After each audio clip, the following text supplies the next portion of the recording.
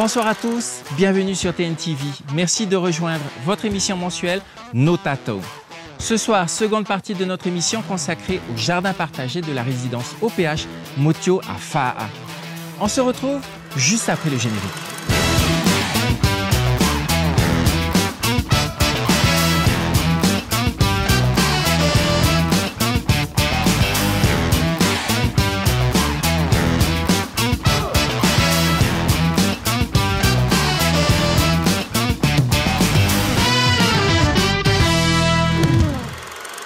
Souvenez-vous, le mois dernier, nous avions rencontré Noëlla et Juanita. Elles nous avaient raconté l'histoire de la création de leur faapou.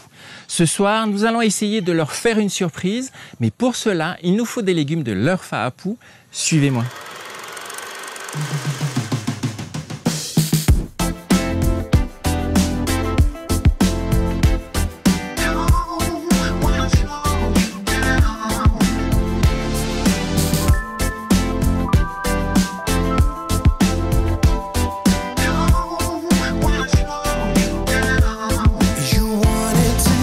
Maintenant que nous avons des légumes, il nous faut compléter nos ingrédients. Et pour cela, je vous propose d'aller faire des courses dans une épicerie en vrac. Vous ne savez pas ce que c'est? Regardez. J'ai mes paniers. Venez avec moi. On va faire des courses tout de suite. Bonjour Noéline. Bonjour Jerry. Alors, on est dans ton épicerie euh, en vrac. Je ne connais pas le principe. J'ai apporté mes paniers, mes bocaux. Je voudrais que tu m'expliques un petit peu comment se passe le principe d'une épicerie en vrac. Alors l'épicerie en vrac c'est très bien, tu emmènes tes contenants et puis je vais pouvoir t'expliquer un petit peu comment ça marche. Donc quand tu arrives, tu as ton contenant, c'est super.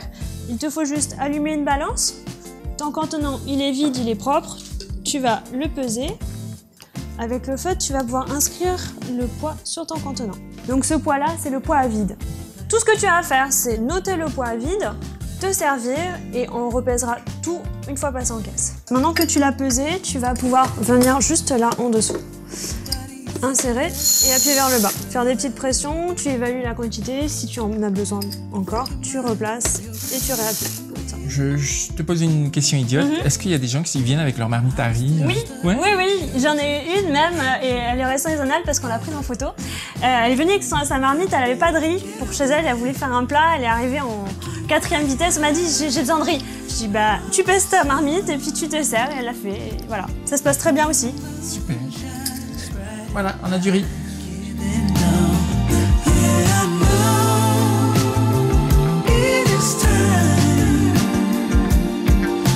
Seen it all,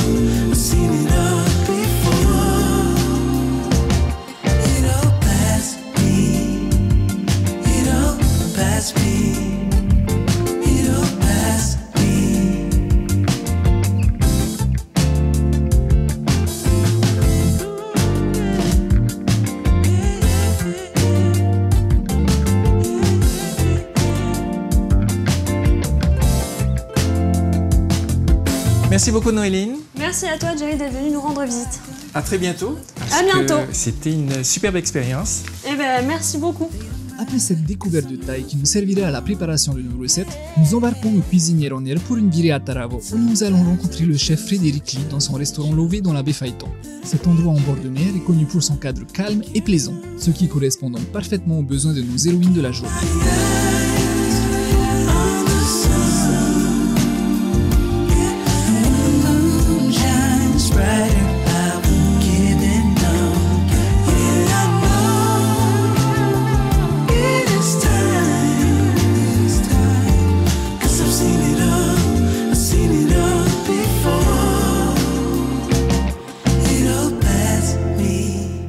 Sans plus attendre, nous allons passer en cuisine pour que le chef Frédéric nous guide. Qu'est-il possible de réaliser avec les légumes et fruits que les habitants de la résidence Motio ont pu récolter? Donc là, ce qu'on va faire aujourd'hui, euh, on va transformer en fin de compte vos jolis produits du jardin. hein. Ce qu'on va faire, c'est qu'avec les aubergines, on va faire des aubergines farcies, un peu à la provençale.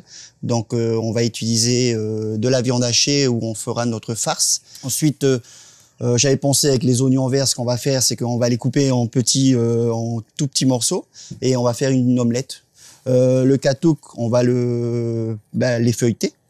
Et on va le réserver, on va le sauter directement à la poêle. Et on va mettre un peu ben, ce qu'on a, un peu d'oignon, un peu d'oignon vert, un peu d'échalote, un peu d'ail. Et on va euh, démarrer à l'huile d'olive. Parce que ce qui est très bon pour le corps, c'est l'huile d'olive. Hein, c'est mieux que tournesol ou colza ou tout ce qu'il y a à côté. Et euh, derrière, ensuite, on mettra euh, un peu de jus de teriyaki marinade qui va, en fin de compte, euh, ben, donner un peu plus de goût au, au katouk. Hein.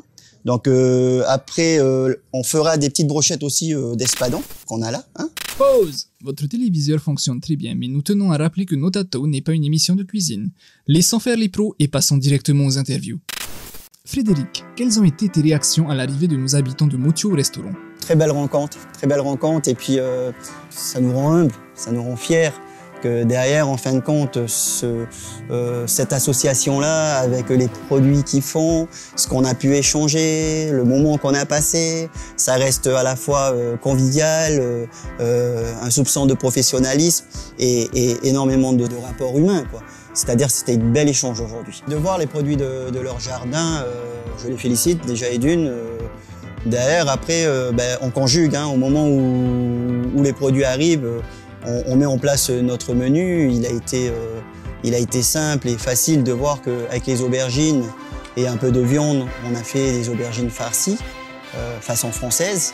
Ensuite, on a eu le katouk qui était une très belle découverte pour nous aujourd'hui. Donc, ça se mangeait ou cru ou cuit. Donc, on a, on a, on a opté pour l'option euh, ben, sauter très rapidement pour pas aussi dénaturer le produit avec euh, ben, un peu de tomate, un peu euh, de blanc d'oignon vert et de l'échalote et euh, une petite marinade en déglaçage teriyaki qui était euh, une belle découverte pour nous, un peu d'oignon vert.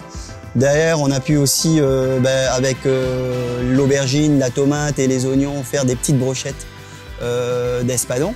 Après, de transformer le produit en lui-même, comme les haricots euh, en omelette, c'est sympa. C'est quelque chose de, qui est facile à faire, qui est consistant pour une petite famille, c'est sympa. C'est facile, c'est sur le pouce. Et puis, ça prend pas des, une matinée ou ceci, cela. L'objectif, en fin de compte, c'était plutôt euh, derrière de, de- prendre ces produits, euh, imaginer un menu voilà, de, de table qui soit à la fois euh, familial et, festif. Donc, avec tous ces produits-là, on a pu conjuguer le résultat qu'on a vu aujourd'hui. C'est peut-être aussi l'occasion de s'inspirer de quelques astuces de professionnels. Ben, c'est l'idéal, hein. c'est l'idéal de, de reproduire les mêmes, les mêmes ateliers qu'on a vécu aujourd'hui. C'est de reproduire, ça permet à ces, à ces dames-là, à ces mamans-là de, de faire chez eux pour leur euh, petite famille. Voilà. Parlant d'astuces de chef, celle-là, c'est cadeau. Donc euh, l'ail, ce qui est bien euh, quand vous faites à la maison, en fin de compte, si vous avez une grosse quantité d'ail, vous prenez et vous coupez l'arrière de l'ail. Ok? Hein Et ensuite, en fin de compte, il faut juste écraser sur le côté, de chaque côté. Et après, c'est plus facile à enlever. Donc euh, généralement, avec de l'eau, c'est encore plus facile. Bon, là, c'est comme ça. Donc euh, voilà. Donc l'ail aussi pareil. Donc on coupe l'arrière et on l'écrase et ça s'enlève tout seul.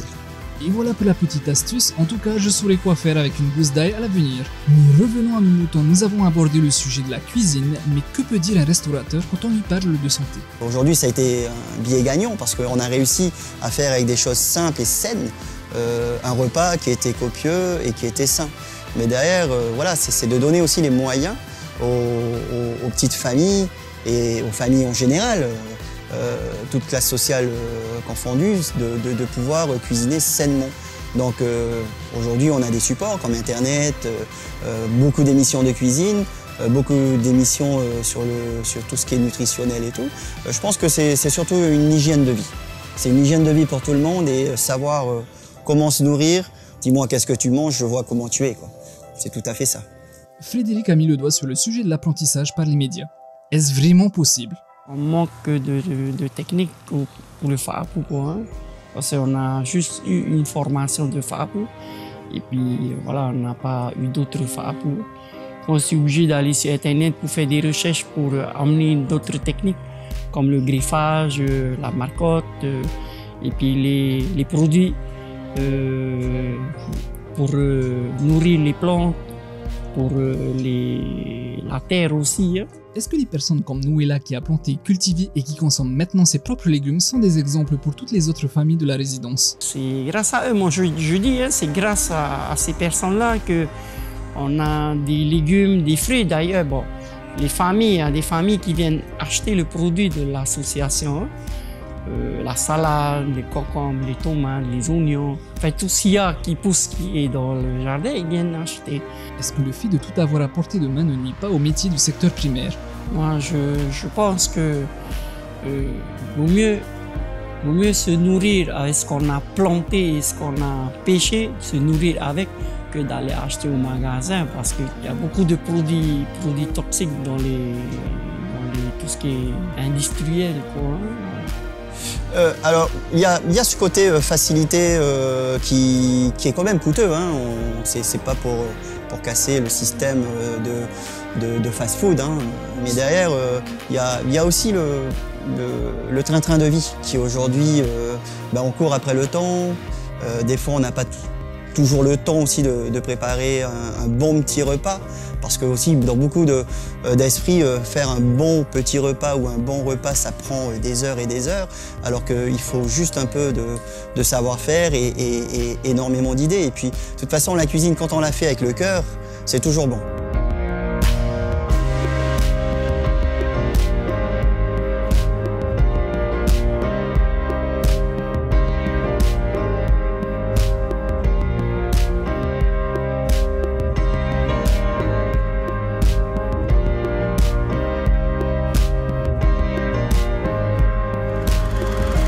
Voilà les amis, je vous remercie de nous avoir suivis dans nos aventures culinaires. Je vous donne rendez-vous le mois prochain pour de nouvelles aventures, peut-être près de chez vous. À très bientôt, au revoir.